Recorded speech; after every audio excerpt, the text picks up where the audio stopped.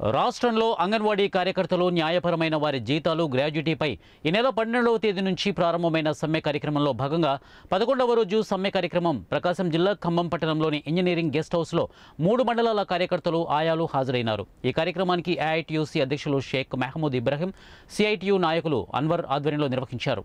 ఈ కార్యక్రమంలో ఏఐటియుసి నాయకులు షేక్ అహ్మద్ మాట్లాడుతూ అంగన్వాడికి న్యాయపరమైన సమస్యలు పరిష్కరించాలని ప్రభుత్వాన్ని కోరగా ప్రభుత్వం ఎలాంటి సమాధానం ఇవ్వకుండా నిర్లక్ష్యంగా వ్యవహరిస్తోందని ఆయన అన్నారు.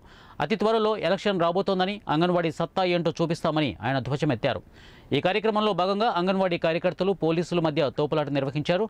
ఈ కార్యక్రమంలో సిఐటియుసి సారీ ఈ కార్యక్రమంలో ఏఐటియుసి అధ్యక్షురాలు సరళ ఉపాధ్యక్షురాలు రాజేశ్వరి మరియు శ్రీదేవి ఆదిలక్ష్మి సరళ మరియు మూడు మండలాల అంగన్వాడీ కార్యకర్తలు హాజరై ఈ కార్యక్రమాన్ని విజయవంతం చేశారు.